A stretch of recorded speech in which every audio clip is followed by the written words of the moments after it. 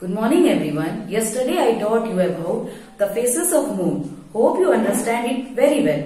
Today is the last topic of lesson 1 that is other celestial bodies. Those are asteroids, meteors and comets. Asteroids. These are rocky bodies which revolve around the sun. They lie in the gap between Mars and Jupiter. The name of the largest asteroid is Ceres. Its diameter is more than 1000 km. Now the next is meteors. They are very small rocky objects which often enter the earth's atmosphere and get burned due to friction. They appear as bright objects and are called shooting stars.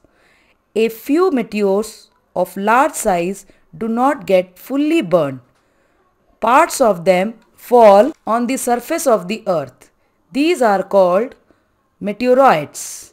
Sometimes they crash on the ground with a great force and form deep craters. Now about comets.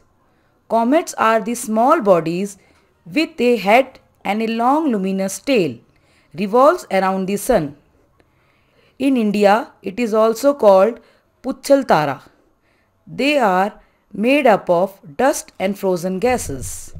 They appear in the sky after a long period.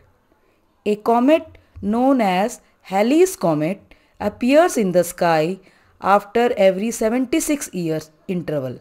It is one such comet which is seen in 1986. Now your lesson 1 has been completed. If you have any problem in this lesson, you can ask me. Thank you and have a nice day.